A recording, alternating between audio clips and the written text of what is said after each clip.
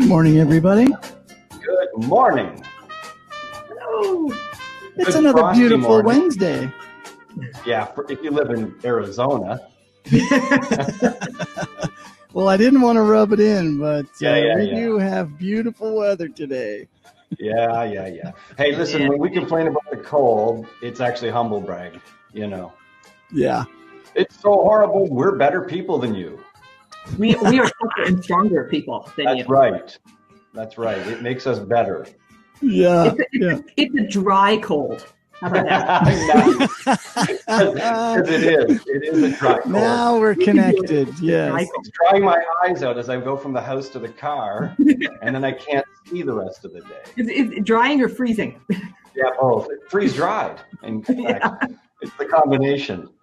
For those of uh, anybody who want, you know, crashing in on this weather conversation, um, I'm located in Ottawa, capital of Canada, where it's been brutally cold because it's January and it's Ottawa and it's Canada.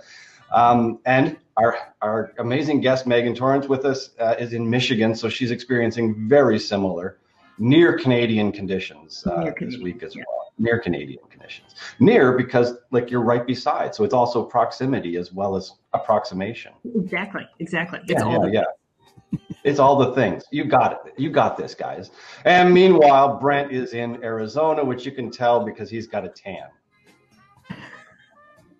It's good times in Arizona. It's 70 degrees today. We should be at about. So it was actually warm this morning. So uh, probably like 45 ish, something like that. So yeah, good times. I heard Brent once say something about he really likes hoodies, but he only gets to wear them like twice a year. And I thought, hmm. I only take mine off twice a year. You know? Ah, touche. In July. What's wrong with That's that? right. That's right. Oh, Uh, man. yeah, I was so we have- to besides- segue into that, but Yeah, well, I besides weather, we have an actual topic, don't we? We do. And and so, so the official title, and this is let's get into this because like Duke's up, we're gonna we're gonna argue here. The title of today's session is the XAPI primer for non-geeky learning professionals. And there, It's how do you what? respond, Megan? I say it's a primer if it is your basic entry level. Hmm. It's a primer if it's your first coat of paint. So both can apply. I'm, Well, I'm with yeah. it. I'm with it. Let's let- let's put it to the chat. Is it a long eye or is it a short eye? Because I have honestly never, in my entire existence on this planet, used heard the word pronounced as primer. So maybe it's a maybe it's a geographical, cultural, ethno something Well, I know you use call of the it word. pasta and stuff like that up there, but Yeah. this Well, is- this so so so Jack is throwing in that uh, two M's would make it primer. Yep, I Mm. agree. Although Carla's agreeing with Megan. Kim hasn't heard the short eye either. Um, Jim's saying nope, primer, but oh, he's got two eyes. Prim and proper primer. Uh, Yes. I think I think Jim's just trying to cover all the bases by uh, by by putting things. All right, hold in on. I'm gonna I'm gonna play it from Merriam-Webster. There you Play go. it. We could Okay. we could ask Grammar Girl. Primer. Did you hear that? I Yeah, but did that's- hear that. No way. But that's um that's an American dictionary. I'll just point that out. I, I, I will say that the if you I'm gonna I'm gonna paste the link. If you look at the link, it says chiefly chiefly British. Well, do you know what? You know, one of the mar- marvels of being Canadian is one of the marvels of being Canadian is we can be selectively influenced by whatever we want. You know? we didn't we didn't fight the British for independence, so you know we can keep some of that stuff. But we did go and say, hey, on a you know constructed conversational basis, we'd like to negotiate our independence from you slightly, which gives us now the right to pick things from other places. So And then do you apologize for it? Well, of course, yes. oh, I'm sorry, by the way. Uh, I, and I only say that because Chris accused uh, the Torrance Learning team of being kind of quasi Canadian because we apologized to him like 16 times. it was really comforting, actually. I, you know. And we're so sorry to all of you in the chat for uh, going off the rails so early on in the conversation. Oh, we haven't even started getting off the rails. but oh my! we are getting e-learning with by explaining the difference between primer and primer. Oh, yes. Yeah. That would And be then most. And we'll track it back to our LRS based, and we'll use geolocation as well to see what uh, to measure and uh, report on data as well. Um, Yeah. Right, before we go too far further, uh, sidebar Jim is wondering in the question if the theme tune will be available to download. So maybe you want to point Jim to the theme tune when you've got a chance to toss that in for him in the because it's I uh, will. it is a freebie thing. So Yeah, I think I got it off of the Google, the the the Google um, YouTube library of sound stuff, and I just grabbed that one because I thought Yep. it had a Well, and I'll tell you, very you idiotic you guys are vibe to it. because now in the XAPI cohort we have a well, now we do it differently, but we have we have a different theme music to start um, music different free music clip to start off every XAPI cohort web session. awesome. All You get to rock it out too, Nice. just like cool kids. I, I kind of think of it sort of like the in baseball they have the walk on music that they play for certain stars. Like you know, this is Yeah. us. Strut. Should we be? Yeah. Well, see, that's there's a problem with that though. If we asked all of our guests, "What do you want your walk-on music to be?" Then when we posted to YouTube, we would get banned. So There's that. Yeah. Yeah. you know, unless you wrote your own song and just kind of hummed it out or something, maybe whistle uh, whistle a tune, walk yourself No, on. no, no, We'll, we'll compose one. We have the AI, and we'll just let the AI compose a song for everybody. There you go. Ooh, that would be good. All right. So back on back on topic. Um, Okay. So may, some of the folks might not have actually joined us the last time or caught the last time you visited with us, Megan. So give us Mhm. like the, the 30 second, 20 second, two half minute inter, uh, you know, introduction of yourself, just to, to set the stage for our conversation today. Okay. Um, so I am uh, Megan Torrance, and I'm the CEO at Torrance Learning, and we design and develop custom learning solutions for mostly corporate and associations, so workplace learning. Um, we've been doing this for 16 years. Uh, we do a fair amount of um, custom software around learning and platform integration as well. So um, it's uh, it's a fun and fabulous team to to work with. So, and one of them went down to uh, TLDC and see, saw you, Brent, this week. Mhm. Oh, did we lose Brent for a brief moment there? Oh, I think we, we lost Brent. I was trying not to get some feedback there, but yes, Oh, we did have a uh, we we did, um, and now I can't even remember her name. I'm a little brain fried on names. but- Fabulous Ann Demeter was down there. Yeah, So, right. Yes. Oh, did I? I always said it Demeter, but does that not? It's Demeter. I, the Demeter, no, watch What does much Merriam-Webster say? You know, I know. Now we're on this. one. Sorry, sorry. Yeah, I'm sidetracking us now. So yeah. Um, afterwards, we'll check the Merriam-Webster pronunciation. And, uh, Oh, that's sure. um, and also your group, uh, you know, uh, one of the things that you guys contribute to our space too is the the XAPI cohort, which is like a learning series for folks who want to like start or improve upon and understand more about um, about XAPI. Which brings us, I guess, to the official topic of today. Only eight and a half minutes in. Woohoo! That's good for us. the XAPI starting place for non-geeky learning professionals. so uh, let me let's let's throw it over at, at you, Megan, and just say, hey, what would what would you list as the things, or, or where would you start telling people about, uh, you know, from a non-geeky perspective, what they Sure need to know about XAPI? So, from a non geeky perspective, assuming that we're all somewhere in the learning space and have some familiarity with learning management systems and, and have maybe heard of SCORM before, um, XAPI basically advances our ability to track what's going on inside a learning experience. Um, it broadens what kinds of learning experiences we can gather data about and use that data. Uh, and uh, it allows us to capture uh, information from the performance experience and what people do on the job after they've learned or before they've learned um, to, to better inform that as well. So it's a specification that um, is, is is how we talk about those experiences. Similar to SCORM is a specification that is how we talk about um, what happens in an e-learning course when you are logged into um, a learning management system taking that. Now, SCORM is super limited because it's only tracking about five things that instructional designers care about. Um, and they're relatively shallow, but they're super interoperable. Right, so I can take a SCORM package and I can um, put it in any SCORM-based LMS, and it should run mostly. right? It's got, I, I, call it dialects. It's like Canadian and, and, and, American, right? So it's like, do you say pass fail or complete incomplete or, you know, success or not? Um, but, but once you get over those dialect things, they work. And it's what mm-hmm. has allowed the e-learning world to become as, as big as it is and as fluid as it is because organizations aren't held hostage by their vendors right? They can swap and change because, um, you know, you can change LMSs and all your courses still work. You can change courses, change course authoring tools, change course vendors, um, and they all work because they all talk SCORM. It's a promise of XAPI, except newsflash, people learn away from e-learning. And we're not tracking any of that at any kind of depth or scale or, or, or anything. Um, and then they go do things on the job with what they've learned. And we're not tracking that either. And so learning and development has a, a, a lack of data. I was going to say dearth. That'd be send us send us all back to to Merriam-Webster. Um, and actually, so here's our, our, our, primer primer moment, right? So XAPI is also, that's the, the nickname for the Experience API.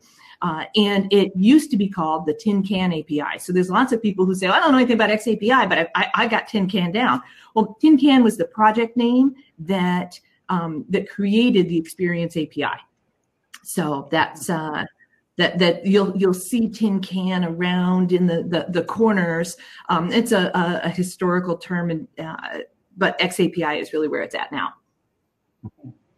I've um, a colleague of mine once described, and it's always stuck with me that uh, SCORM is like um, like DVD, right? It doesn't matter who made the DVD. Mm-hmm. It's it's a format of technology, and you're going to put it into a player, and it doesn't matter who made the player. It's going to play properly um, and uh, and therefore you could get DVDs from Sony, from Warner Brothers, or whatever, and play them in a Philips, a JVC, or a uh, etc. And it always works. But the thing with SCORM is that, like a DVD, it only works when it's in that player. In other words, yes. if you it, it, doesn't play anywhere else. It's only in that context of, of being in a player, where the player in, in SCORM world is an LMS. Exactly. And if you think about it, nobody buys DVDs anymore unless you want to play it in your old DVD player, right? So it's a great analogy on a whole lot of levels because yeah. people are either getting Blu-ray, which gives them much more depth of experience, or they're pulling out one of these and they're doing it on Netflix or whatever, right? So so they they they are streaming content whenever they're downloading content. Oh, with an, an SCORM-based LMS, you need to be um, online and so with XAPI, one of the, the unsung, really boring things it does is it, it handles offline storage really well. And that's actually one of the, um, some of our early projects were really all about offline storage, mm-hmm. less about data. Although we've done some so, really And when you when you say offline storage, mm-hmm. just tell us a little bit about that. I know we're kind of going back to basics and we don't want to get too deep, but what do you mean by that? So um, when you have uh, and, and and most a lot of lms's have a, an offline player that they allow you to download your your course and play it. It's a little bit clunky in a lot of cases. Um, mm-hmm. xapi allows for the storage of uh, of data when you're not connected to the internet and um, and then to, to send that back when it, it does see a, a connection. And we've used that in two cases actually.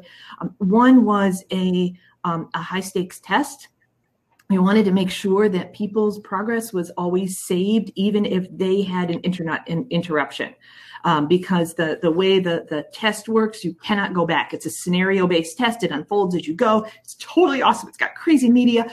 Um, it asks multiple questions on a screen. It's got video and it's got, you know, actual medical media. Um, but um, you can't go backwards in the scenario. And so we needed to make sure that we were storing that data um, device device. Um, and, and even if that, the internet connection was lost. The second place that we've used that actually is in extreme remote, no internet environments um, in developing countries where we're teaching uh, public health volunteers to administer vitamin A and, and deworming supplements um, to children. And um, they don't have reliable internet.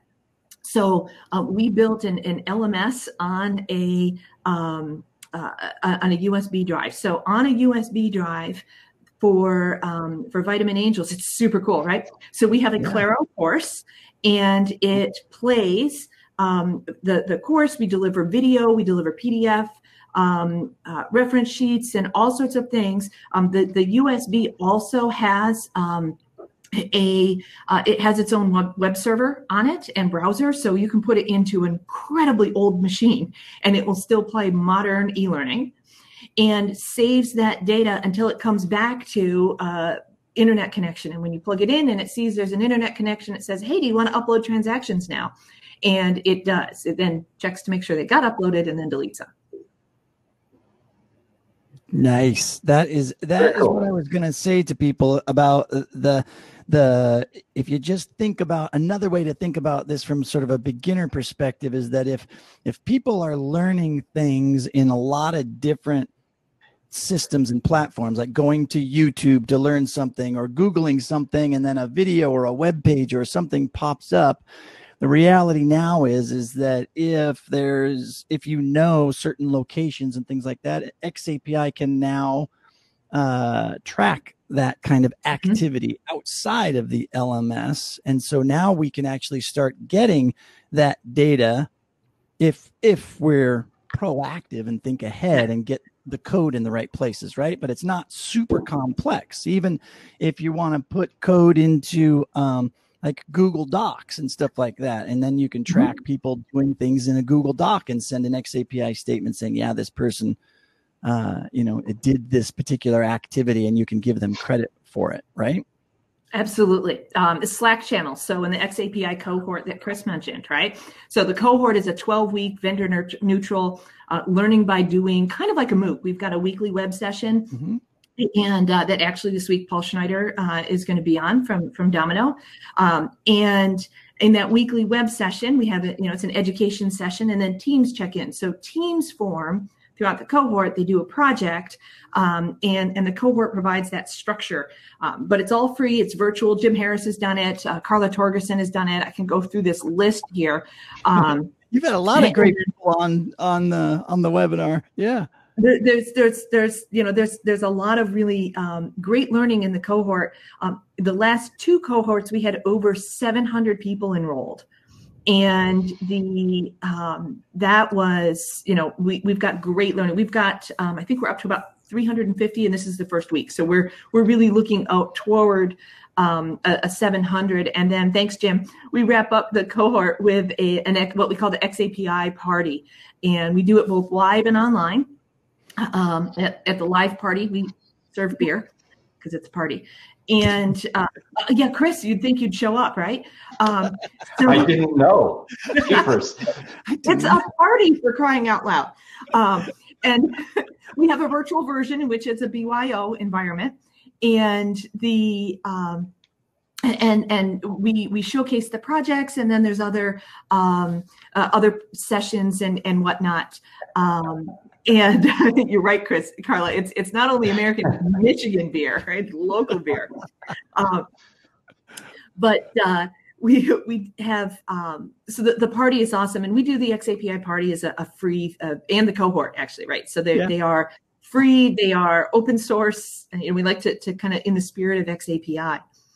So and and and the cohort is interesting because there'll be projects all over the map. I mean, there'll be projects that are using you know gathering XAPI data from videos or interact you know interactive videos and um, and websites um, from software uh, from in, you know, there's several projects that are trying to get xapi data out of instructor-led courses uh, and then there's a lot of projects where you know if we're looking at a non-geeky learning professional um, your first XAPI, project is probably an e-learning course.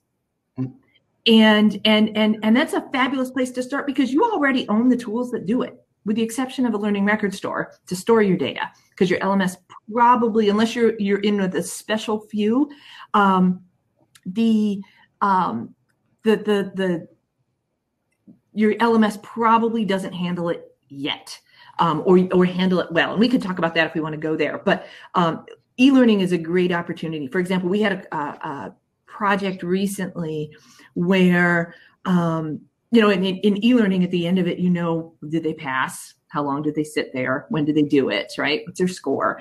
Um, but you have no idea what they do on those pages. Um, and so we had this really rich and interactive course and um, we had um, you know a, a scenario and then we gave a hint.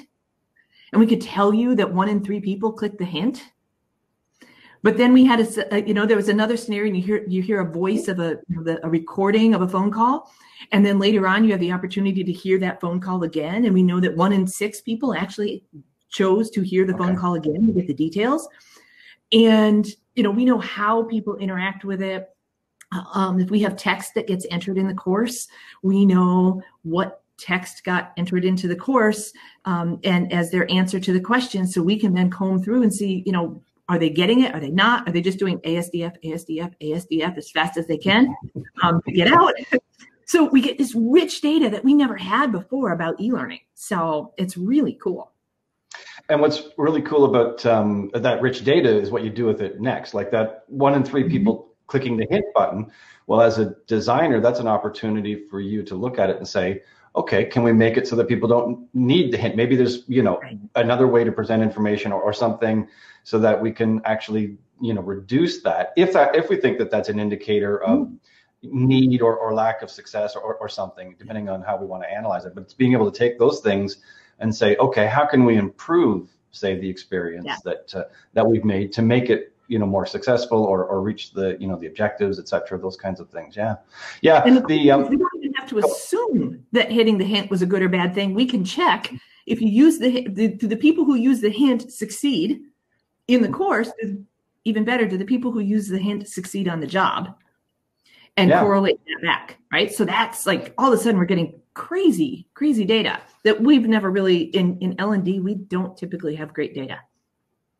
Yeah. And we don't typically think about reaching out to the business and knowing how to match their data with our data because it's hard to match uh, you know real business data to butts in mm-hmm. seats everybody went to class but it's yeah. much easier when we get a bunch of really great xapi data that says exactly how somebody went through a course exactly did they succeed or fail in the course and then matching up that data to specific business metrics that are connected to either the software they're trying to use or the the sales numbers they're trying to hit or the you know whatever the manufacturing widgets that they need to do on a specific machine a particular mm-hmm. way with reduced breakdowns or you know all of those different business data things we can now correlate all of that training data together and uh, it's we're not we're not there in a lot of situations yet but it's very very easy to see how how mm-hmm. easy it is but we just have to we have to start getting there. I, I think from a primer perspective, though, you mentioned this thing called an LRS. I was thinking maybe we need to go back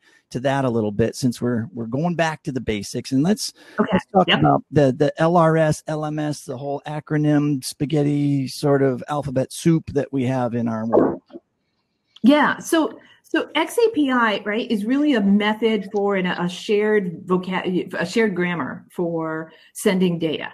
Um, so all sorts of things can send data, and we've been talking about that up until now. You have to have a place to receive it. Um, and there, there's a few models for it, but the, the, the database that receives it is officially called the Learning Records Store. And on the list of, um, or close to the list that Jim Harris just pointed to you, uh, you'll see a, a list of, um, uh, in fact, I'll go grab it here too. Um, you've got a, a, list of, of learning record stores. Oh, thank you, thank you, thank you. And so the the learning record store is basically the database that receives correct, correctly formatted and authenticated uh, statements and hangs on to them and gives them back to you when you ask for them. So by the specification, uh, that's all it does. Now, a commer- an independent commercially viable LRS typically d- gives you that data back in really attractive and functional ways. So a lot of them are focusing on the data, the, the analytics and the the, um, the, the visualizations, and then some of them are doing a um, uh, some of them are doing uh, rules-based triggers and and steps. So if I, I do this, then I get this, right? So that so Brent, your your your your scenario before of I take training and then do I do better on the job? Vice, we could flip that too. Based on what I do on the job, what training do I get triggered to do? Ah, right? Yes. So if I do a great job, why slow me down by training me more? right? because somebody So- else messed up. That right? That's that's what that's what happens a lot, right? One one person messes up, and then everybody has to get retrained in the whole company because you know every we just going to Yep. assume that everybody is going to at some point. So let's just retrain everybody. exactly exactly so so jim is giving us some vendors in the in the sidebar here right so this lrs right so if all it does is receive hang on to and give back your data right? And then there's some other things you can do around it. There's a few models for this. And so one is to get us uh, what i call the the sidecar lrs right? So you're let me back up. Your lms does a lot more. It deals with shallow data because all it gets is scorm but it knows who your people are and what your organization tree is. It knows all the things about your instructor-led classes. It it has all the history. Um, it has a lot of information that the um, an LRS doesn't have, and your LMS actually hosts the learning too. Right, so there's your LMS is a is still something you need if you need to manage training, if you need to manage audiences, if you need to say these people need to take this thing because your LRS doesn't know. Your LRS just receives. So the two together are what most organizations are going to need. So in some cases, you will get an LMS that has an LRS inside of it. Right? And that's the best of both in my mind. That's the best of mm-hmm. both worlds. The better of the, the better best of both worlds is if that LRS is conformant. So the links that Jim is giving you are the lists of conformant LRSs that pass the 1300 rows of specification that have to be done to make an LRS truly operate. Right? So a couple things, an LRS, a truly conformant LRS, right, will accept data from outside of its own ecosystem. Right? Unlike an LMS. A truly conformant LRS doesn't change your statements. A truly conformant LRS lets you query and get those things out and migrates that data from LRS to LRS when you want it to. There are some LMSs that have truly, there's a small number of them, that have truly conformant LMSs, LRSs inside. There are some LMSs um, that, and we can decide to name names or not, that have what I call XAPI support. They are not a truly conformant LRS inside. And that means that while you may be able to operate and use e learning data within, or sometimes you can launch and then close a course, an XAPI published course, and the LMS will read that as, oh, there's a launch and oh, there's a completion. I can read that. And it's reading it like SCORM, but it's not truly conformant. And so that I would I would really, really recommend that you check your LRS, your LMSs that say they offer XAPI support. Yeah. And then there's a, a third model, which is really where a lot of people I see are going. And this is a great, fast way to move, is you have your LMS and you don't touch it. You just let it do its thing. You let its contract run out. You do, you do whatever. Because putting new LMSs is, is, is a pain in the neck. Um, and I do this. Right? so um, it's not something that people want to do all the time they get a what I call the sidecar LRS. So the LRS sits alongside, and you then get to do all of your cool data things in your LRS, and you get to manage your training in your LMS, and then you set up some hooks between the two and some data data passing. Yeah. Yeah, that that to me seems like the best package, the best way to go. Yeah, Chris. Well, I was just going to say, I mean, because there's so much. Um, if if it's something that someone hasn't really learned much about already, um, you know, there's a, there are so many sort of aspects to this that it's sort of related to SCORM, but it's different. It opens up different opportunities, etc. And, and and Jim uh, Petrahos has a, a question, which is basically like the most awesome question of all. Um, we have a tool and an LMS that support XAPI, but how do we explore what we can do? Where should we start? Ah, Um, okay. So let's let's talk, um, you know, about some places where people can start adding, you know, beginner knowledge, uh, taking steps forward, etc. I mean, besides joining us every time we, we get Megan on onto the session, people might need something in between th- these times. Sure thing. So there's a few things, um, a, a- a few things to do. I mean, one, I am, am a huge, huge fan of the XAPI cohort. So that is a, a, a great way to get started. Um, my team also hosts, we call them XAPI Geek Free and Hands On and Geek Free. And so that is a, um, a super awesome way to get in. It's two days of playing with um, I think we're up to eight or nine activity providers. You get to play with four different learning record stores and really just experiment. Um, to the specific question, uh, depending on on you know what what LMS you have, I'd say get a course, publish it to XAPI, put it in your LMS, and see what you can do with it, and then call your vendor and ask because um, depending on who your vendor is, you you may or may not have great great data from that.